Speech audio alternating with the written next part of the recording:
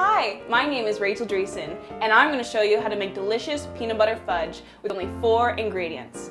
Once you have wrapped it, drop both sticks of butter in the bowl. So now, you're gonna put the cup of peanut butter into the bowl.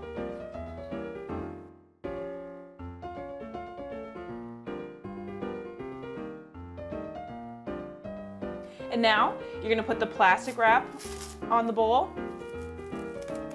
And you're gonna put four holes in it. One, two, three, and four. And now you're gonna put your concoction in the microwave for two minutes.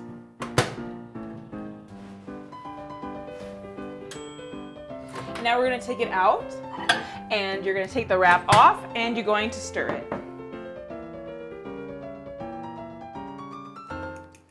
And then we're gonna put the plastic wrap over the bowl and we're gonna poke four holes.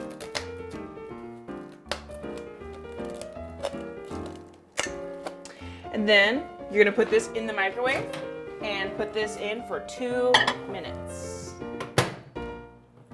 So now you're gonna take the bowl out of the microwave and you're gonna take the plastic wrap off and then put in a teaspoon of vanilla. Now you're gonna pour a pound of sugar, powdered sugar, into the bowl.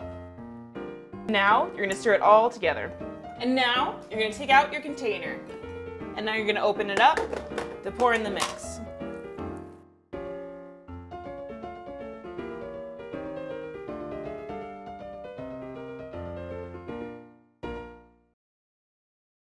Perfection!